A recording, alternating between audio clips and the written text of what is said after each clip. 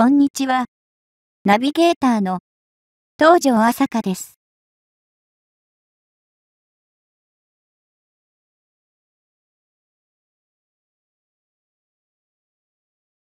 奄美大島海峡を中国原子力潜水艦が通過後、太平洋へと向かった2020年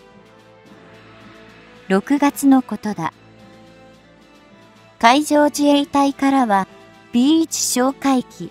護衛艦加賀がすぐさま現地へと向かい対応任務に当たった。日本では中国の潜水艦はデータ取りできており、今回は逆に日本の潜水艦への対応力を試しているようだ。そこまで日本を甘く見ない方がいいだろう。なぜなら、さらなる次期潜水艦の開発が進んでいく。では、そう、竜型潜水艦の次は、どんな潜水艦か見ていこう。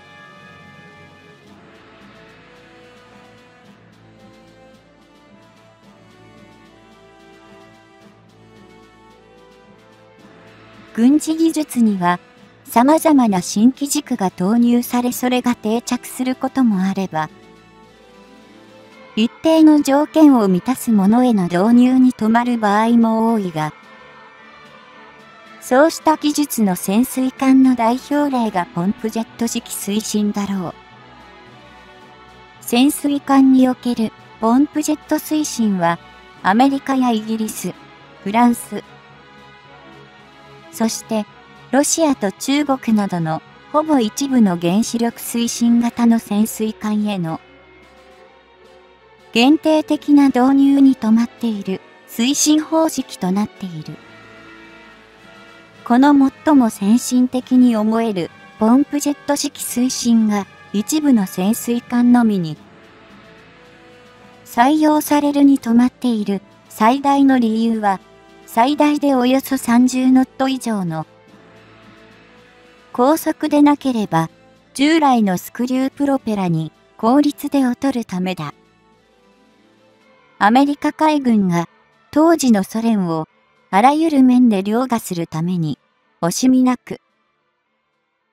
コストと技術を投入したシール普及潜水艦にはポンプジェット推進方式が採用されているが水中最大速度は35ノット以上とも言われている。これに比して、海上自衛隊の潜水艦はもちろん通常動力型であり、最新鋭の、そう、竜型、東流などでの水中最大速力は20ノット以上と、低速であるため、ポンプジェット推進は採用されていない。海上自衛隊の装備品としては、潜水艦の並走ではあるが、最大速力40ノット以上を誇る97式魚雷や89式魚雷にはポンプジェット推進が用いられており、その速度での優位性を取り入れたものとなっている。ポンプジェット推進は推進する本体が周囲の水を取り込んで、それを勢いよく噴出することで高い推進力を得る技術であり、潜水艦以外でも高速な水上艦艇に採用され、レジャー用では水上バイクなどに用いられている。前述したように、およそ30ノットを超える速力以下では、エネルギー伝達効率が既存のスクリュープロペラ方式に劣るほか、機構が複雑な上、それゆえに高価になりがちな特性が採用される艦艇の種類を限定しているんだろう。反面、ポンプジェット推進のメリットとしては、高速を実現できることに加え、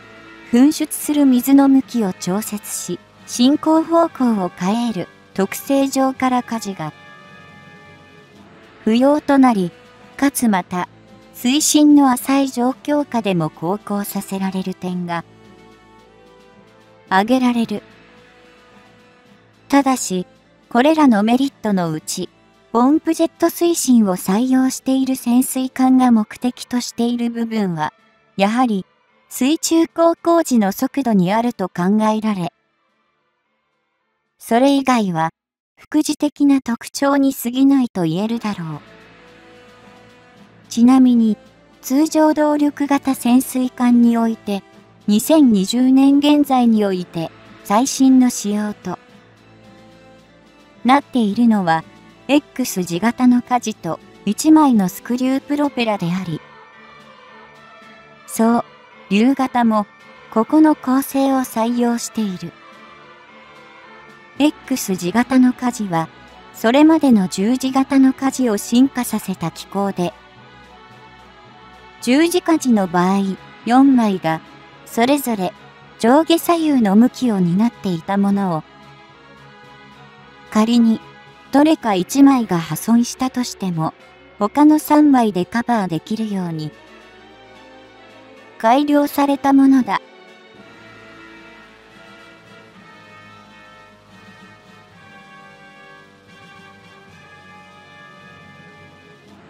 加えて、十字舵の場合には、海底への接触で舵を破損することの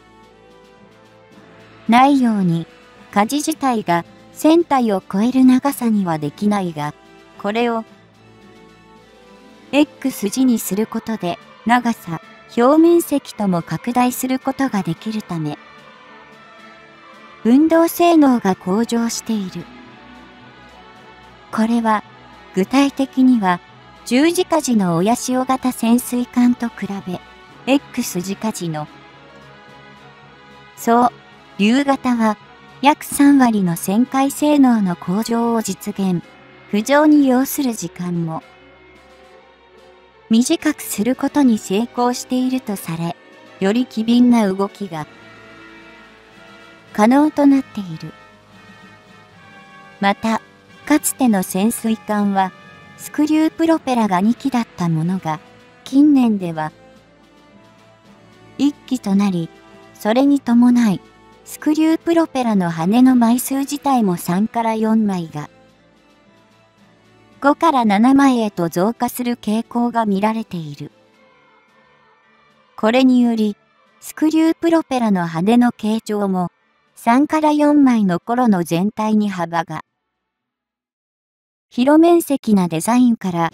5から7枚では L 字型に尖ったような形状に変更され、潜水艦で重視される静粛性の向上が図られた形状となっている。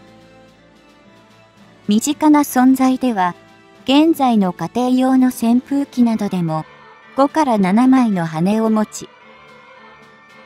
その形状は L 字型をしており、これも稼働時の風切り音を抑えて、静粛性を高めるという潜水艦と同様の効果を狙ったものと言えそうだ。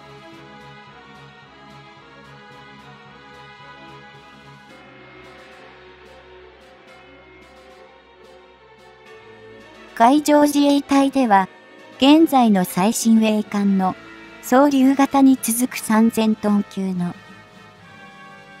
潜水艦も建造を開始しているが、こちらも、そう、流型の能力をさらに